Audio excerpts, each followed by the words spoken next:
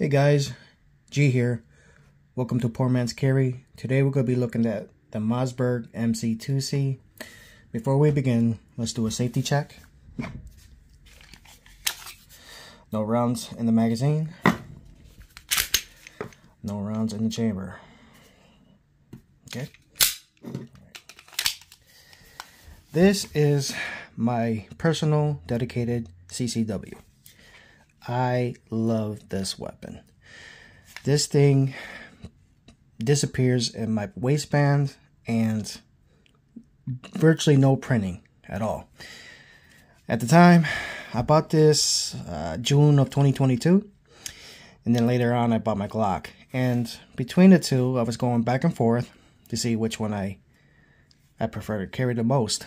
You know, prefer to carry, and um, I just ended up going to this more and more. Nothing wrong with the Glock. Um, you know, af after I souped up my Glock and put a magwell and all that, it did print significantly more.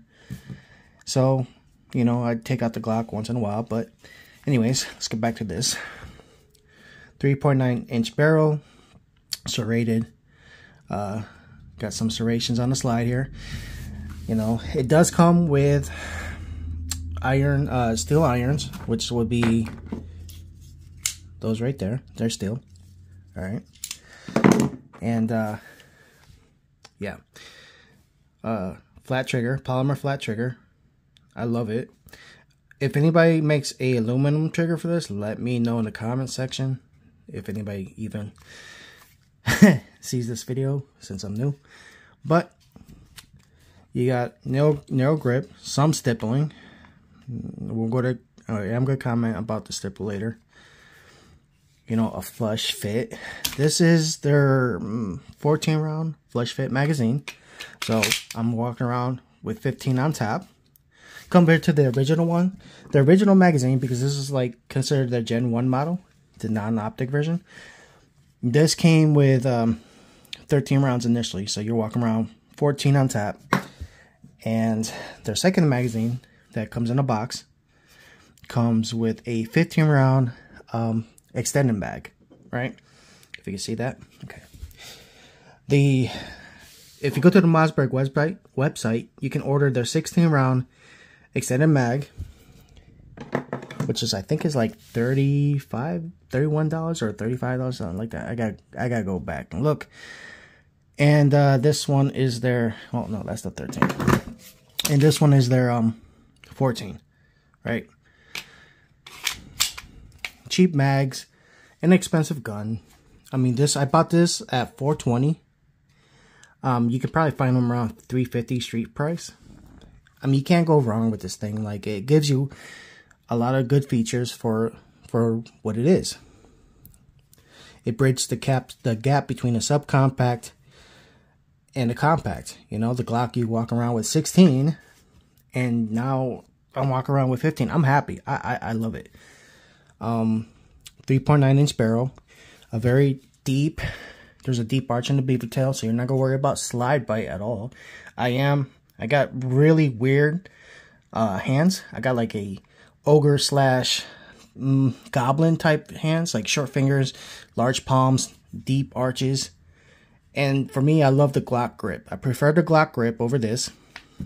I'm not. I don't like narrow guns, but this I I I, I can make exception for this. You know, I'm good with this. When you go narrower on the grip on any firearm, you you want more of a, a aggressive stippling. This is where I believe Mossberg dropped the ball. The stipple job. They should have just gave it to us all up, all the way along the side panels, and all the way around. Uh, the ribs are nice. The ribs are okay. I like the ribs. But overall, Mossberg, please.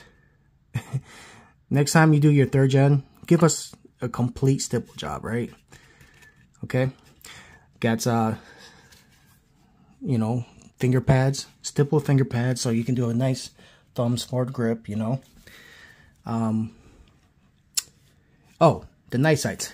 What I did replace, well, before I ever bought night sights for this, I did painted those out.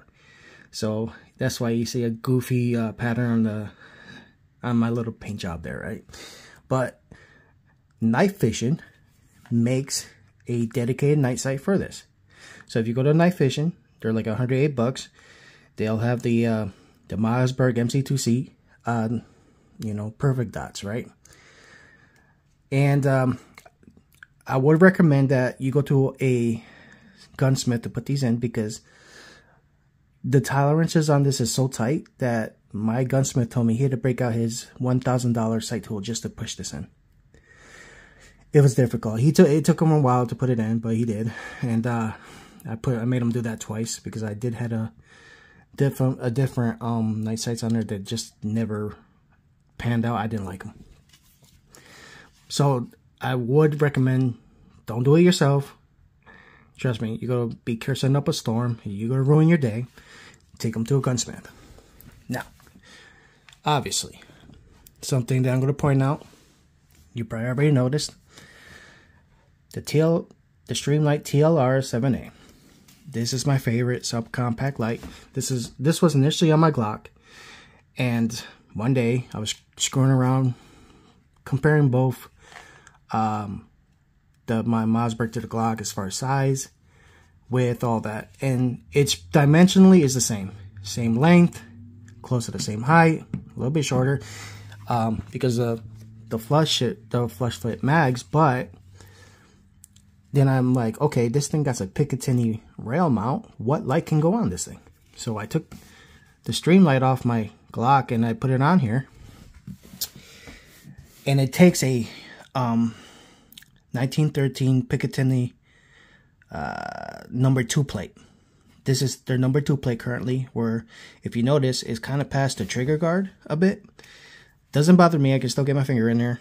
Um, there is a fix around that you can either get the the Streamlight short switch, and that will solve that issue if you want to maintain a flush fit on your light to uh, muzzle, um, and uh, get yourself a little bit more room right there. The mag, uh, I'm sorry, in the trigger guard. So the secondary uh, would be, let's put this down. You can always go up a size on your um, on your plate, or your adapter plate. So this will be the number three. When you put the number three on, it will it will extend the streamlight a little bit past the muzzle, but it'll give you the room you need. Now, there will be a slight little, a very slight, minute little back and forth play in this, which can be easily fixed. You can get yourself some Talon grips, right? This one, I don't okay, so you take some Talon grips, you cut them up, you know, get your arts and crafts on, right? And then you can put it like right there, and you can, you know, put it on to the mount it to the rail, and it'll stop that um that that motion, that little back and forth motion, right? It's very sturdy, verti uh, vertically, but horizontally, it will eliminate that. Yeah, for my individuals with longer fingers, right? What you can do is go the next plate up. 1913-4.